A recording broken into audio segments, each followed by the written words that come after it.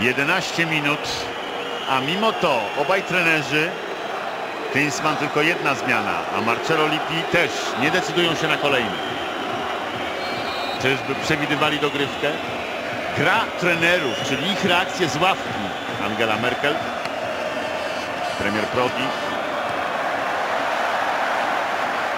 To ważny element, jakże zaprzepaszczony przez Packermana, do którego cała Argentyna ma pretensje.